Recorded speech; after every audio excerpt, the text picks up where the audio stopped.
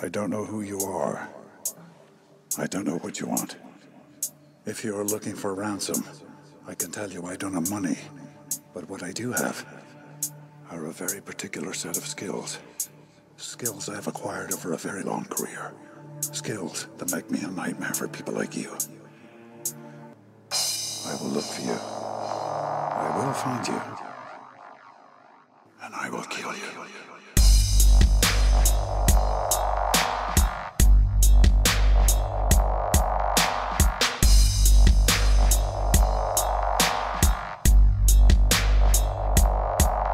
Bye.